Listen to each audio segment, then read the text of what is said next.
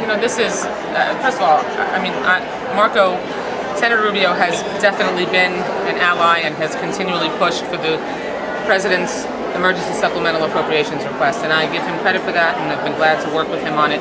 But it's irresponsible to put limitations on how we combat a virus that can result in birth defects, life-threatening birth defects for the babies born to pregnant women who contract the Zika virus. And those decisions should be left between a woman and her doctor, and government should not be interfering with those decisions. And can you elaborate on what you said about Rick Scott and the funding that he cut and the research that he cut? Um, so specifically when that was? In 2011. In 2011, Rick Scott, in his budget, cut about nearly a million dollars from mosquito control, which also cut the funding for what was known as the Mosquito Lab in Panama City. And that was a lab in which there was a lot of, uh, there was key mosquito research done. And, you know, so at the same time that he's out there talking about how President Obama and the federal government isn't doing enough and hasn't even taken a position in support of the president's full funding request, you know, he conveniently leaves out that he actually cut mosquito control and cut the research funding and closed the lab down for mosquitoes. So, I mean, you know, he uh, he bears some responsibility uh, in, in, this uh, problem that we're facing now, since we are not as fully prepared as we could be if, if those cuts had not come down. Was Can that a preparation some... issue, or was that a reworking? shelving of money, and did well, that really have practical effects? When you close down a research lab that has uh, you know renowned uh, accomplishments in a state like Florida, um, it certainly has to have uh, uh, important effects. I mean, why would you do that?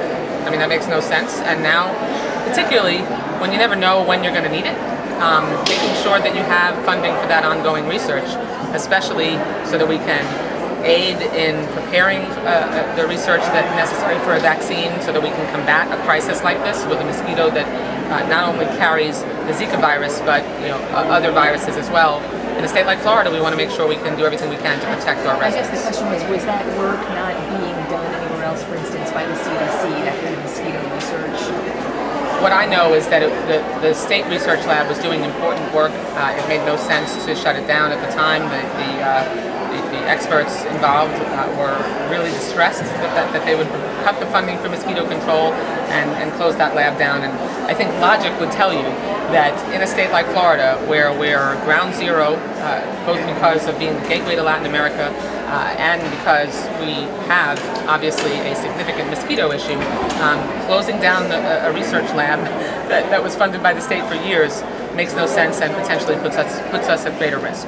Well, Javier, you know I serve on the Appropriations yeah. Committee, and for months, with every single appropriations bill that we considered, I and other Democratic members offered an amendment mm-hmm. on each bill to appropriate the $1.9 billion in emergency funding that the President requested, that the Centers for Disease Control and public health experts insist that we need in order to make sure we can fund the mosquito and vector control, do the research necessary, and make sure we can prepare, do research and prepare a vaccine.